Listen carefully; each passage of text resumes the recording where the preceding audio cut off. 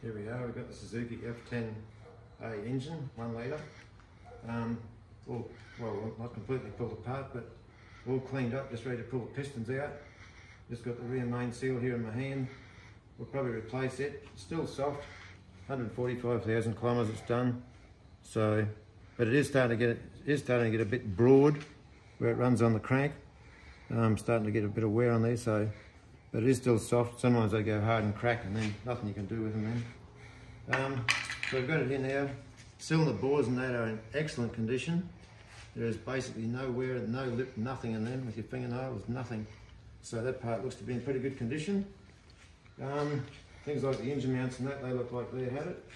But um, we'll get to and pull the pistons out, uh, pull the rings off, put them in the bore, have a look, probably put new rings and big ends in. Um, something else we found, the um, spigot bearing um, was really rough.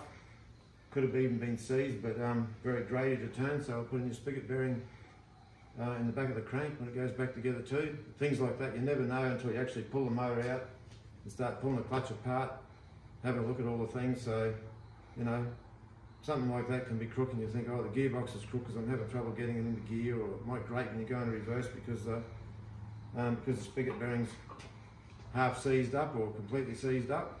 And uh, if it runs like that for too long, it can damage the it can damage the snout on the on the front shaft coming out of the gearbox. They can get a groove on them, and then you can have a lot of trouble pulling the motor away from the gearbox. Sump's been pulled off. Everything's thoroughly cleaned, up, thoroughly cleaned in there. So um, it's not going to it's going to be an easy job just to undo the big ends down here, and um, get the pistons out. We'll have a look at the rings, have a look at the bore, from what we can see about the bore, it looks to be in pretty good nick. Uh, there's a bit of a watermark in number two from where the head gasket was leaking, but doesn't look too bad. There's no big pits. Everything still turns over pretty good. Had to give it just a light sand in the bore. Uh, it was still turning over, and you to have very light rust in the in the cylinder. Um, so that's going to be the next move. We pull those pistons out and have a look. Here we are, just about ready to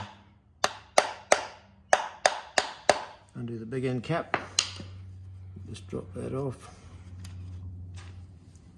We've got our number on here which is facing the right hand side of the engine. I might have to put that back on again. Looks like it's going to be a bit tight. Just tap that a little bit more. Put the other one on. Just let go but not fully.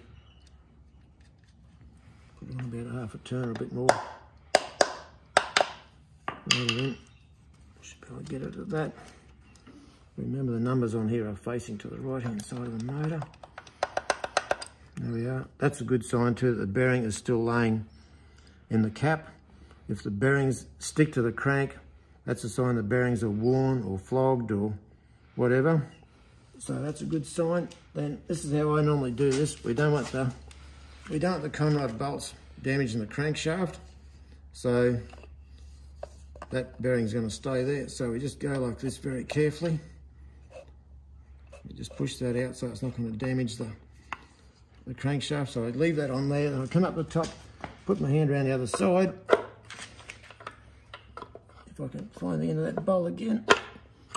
So you always put your hand on the other side here. Just have a look around the other side. That way you can catch the piston. So the piston's not just going to go flying out and drop on the ground. What a baby little piston. Quite dirty in there top ring is stuck into the groove well it needs cleaning up. So just as well we just didn't um, um, get the head machined or welded and um, and machined and put it back together because look what um, look what would have happened.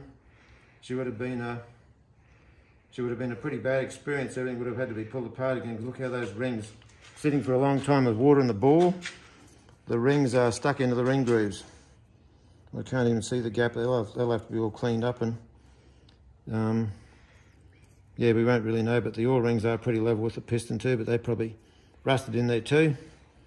Um, what a tiny piston, eh? What a little baby. Gudgeon pin feels fine. Now we'll have a bit of a look at the bearing. The bearing has stayed on the crank on this side. So we'll pull the big end bearing off have a bit of a look at it.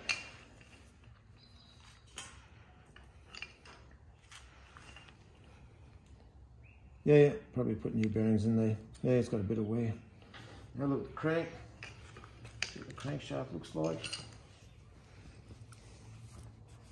Crankshaft looks pretty good. The true test with crankshafts I've found is always on the inside.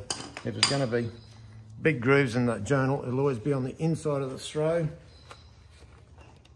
Run your fingernail across there. Yeah, not perfect. Not perfect, but I'll turn that around a bit more so we can get another bit of a look at the bottom side there on the inside. Yeah, not perfect, but it'll do another turn or two. It's not like it's going to be a... Yeah, I think that survived pretty well. That's about where we're at. So we'll have to give everything a clean up and have a good look at the good look at the rings and go from there.